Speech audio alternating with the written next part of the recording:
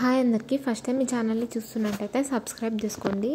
So మీరు PG CET అనేది GATE ద్వారా అప్లై చేసుకుంటే మీకు monthly stipend twelve thousand four hundred అనేది వస్తుంది అనమాట సో ఎవరెవరు దీనికి ఎలిజిబుల్ అంటే సో మీరు మీ దగ్గర మీరు గేట్ అన్నా జీప్యాడ్ అన్నా సిసిఈడి అన్నా క్వాలిఫై ఉంటే మీరు దీనికి ఎలిజిబుల్ అనమాట they must be enrol as a full time scholar at any AICTE approved institutes for the courses of ME MTech masters of architecture pharmacy or masters of design so మీరు ఏ full టైమ్గానే ఉండాలన్నమాట. మీరు course ఏదైనా తీసుకుంటే full టైమ్గానే join అవ్వాలి.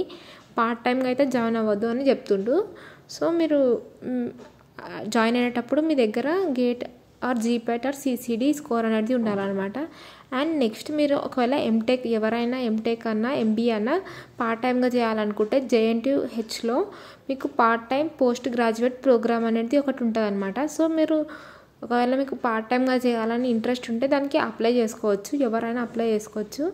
So మీరు జేఎన్టీ వెబ్సైట్కి వెళ్ళి మీరు అక్కడ అప్లై చేసుకోవచ్చు. మీరు డైరెక్ట్ క్రోమ్కి వెళ్ళి సెర్చ్ చేసిన part time P post graduate అని సెర్చ్ మీరు అక్కడికి వెళ్ళి అప్లై చేసుకోవచ్చు అనమాట కానీ ఈ ఎంబీఆర్ ఎంటెక్ త్రీ ఇయర్స్ ఉంటుంది అనమాట టూ ఇయర్స్ కాదు పార్ట్ టైంగా చేస్తే త్రీ ఇయర్స్ అనేది ఉంటుంది అనమాట సో మీకు ఇంట్రెస్ట్ ఉన్న వాళ్ళు జేఎన్టీ వెబ్సైట్కి వెళ్ళి మీరు అప్లై చేసుకోవచ్చు.